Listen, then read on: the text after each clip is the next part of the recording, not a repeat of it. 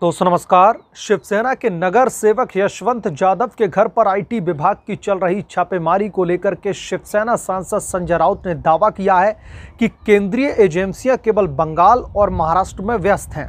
राउत ने कहा कि आगामी नगर निगम चुनावों को ध्यान में रखते हुए छापेमारी की गई है महाराष्ट्र में। जाधव के ठिकानों पर दोस्तों, तीसरे दिन भी आयकर विभाग की छापेमारी लगातार जो है जारी है। संजय राउत ने कहा कि मुझे लगता है कि केवल महाराष्ट्र में आयकर विभाग है, भाजपा शासित राज्यों में कोई आयकर विभाग नहीं है। नगर निगम चुनाव यहाँ है, इसलिए केंद्रीय एजेंसियों के पास केवल महाराष्ट्र और डब्ल्यूबी में काम है। शेष भारत में कोई भी काम नहीं है।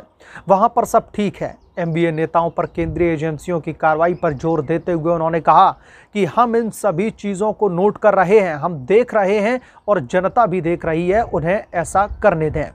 उन्हें पता लगाने दें कि वे क्या खोज रहे हैं। आयकर विभाग ने दोस्तों, शुक्रवार को कथित कर चोरी के सिलसिले में बीएमसी की स्थायी समिति के अध्यक्ष यशवंत जाधव के परिसरों की तलाशी ली, जो कि लगातार जो है 30 से 35 घंटों तक चली।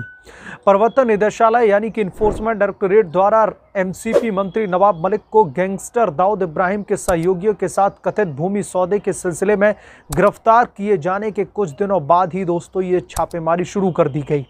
जिसके बाद में बीजेपी का पूर्व सहयोगी शिवसेना ने आरोप लगाया कि भाजपा महाराष्ट्र के सत्तारूढ़ गठबंधन के खिलाफ में केंद्रीय एजेंसियों का इस्तेमाल कर रही है ताकि उन्हें झुकने के लिए दबाव डाला जा सके। तो लगातार जो शिवसेना के नेताओं के यहाँ पर जो आयकर विभाग की तरफ़ से जो छापेमारी की जा रही, जो अभी भी दरअसल छापेमारी चल रही है, उसे लेकर के अब संजय राउत बौखलाते हुए दिखाई दे रहे हैं और उन्होंने मोदी सरकार पर हमला बोलते हुए ये कहा कि जो केंद्रीय एजेंसियाँ हैं, जो इन्वेस्टिगेटिव एजेंसियाँ हैं, चाहे फिर वो ईडी हो सीबीआई हो एनआईए हो, या फिर आयकर विभाग, यानी कि इनकम टैक्स डिपार्टमेंट ये सारे के सारे जो है महाराष्ट्र और बंगाल में, यानी कि उन्होंने ये कहने की कोशिश की कि महाराष्ट्र में अगाड़ी सरकार है, इसलिए नेताओं को परेशान किया जा रहा है और बंगाल में ममता बनर्जी हैं, इसलिए उधर मोदी सरकार बार बार जो है इन्वेस्टिगेटिव एजेंसियों को भेज करके उन्हें परेशान कर रही है।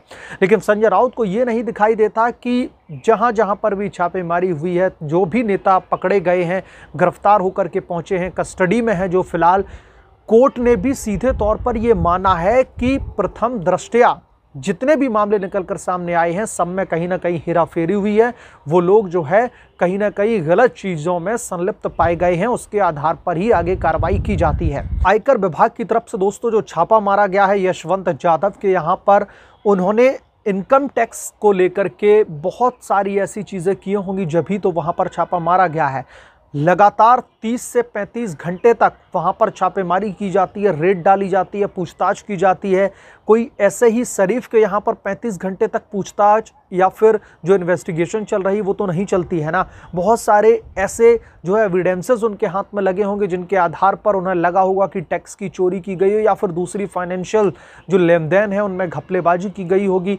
तभी तो वहाँ पर 35 घंटों तक लगातार रेड मारी जा रही है। कोई इन्वेस्टिगेटिव एजेंसियाँ हॉलीडे पर तो निकली नहीं है कि जादव के यहाँ पर उन्हें सैटरडे और संडे की छुट्टी मनानी है।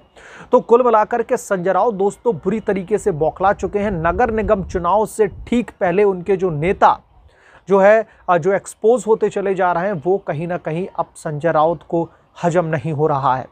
बहरहाल, जो दोस्तों, अगाड़ी सरकार बुरी तरीके से बौखलाई हुई है इन्वेस्टिगेटिव एजेंसियों के एक्शंस को लेकर के, इस पर आपका जो भी पॉइंट ऑफ़ व्यू है, हमें कमेंट सेक्शन में ज़रूर बताएँ।